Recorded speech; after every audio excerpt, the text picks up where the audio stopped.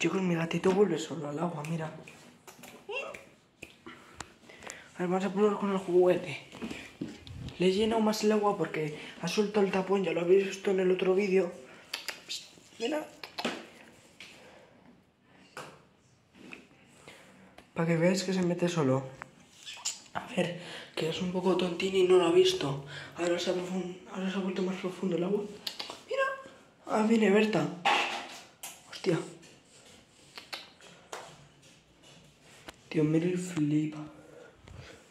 Aquí hay pececitos, ya que estamos Dori. Los grabo, ¿sabes por qué? Porque si no se van a eliminar, o sea, lo van a quitar mis padres y por eso. Mira, está ronroneando, bro. Y empapadito de la vida. Mira, mira.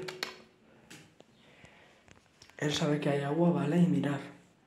Igual ahora no se mete porque hay más agua que antes, se me ha pasado la mano.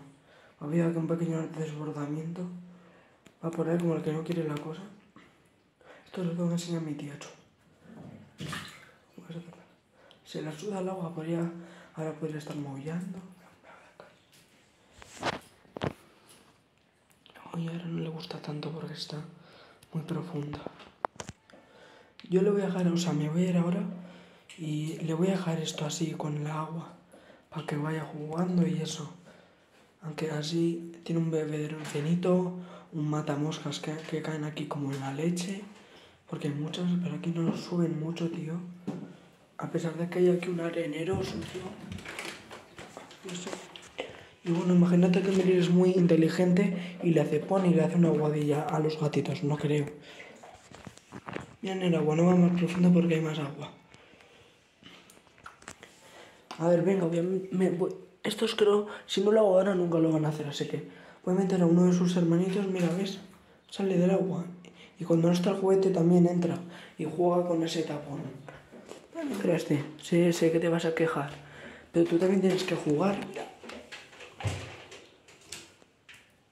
Este también.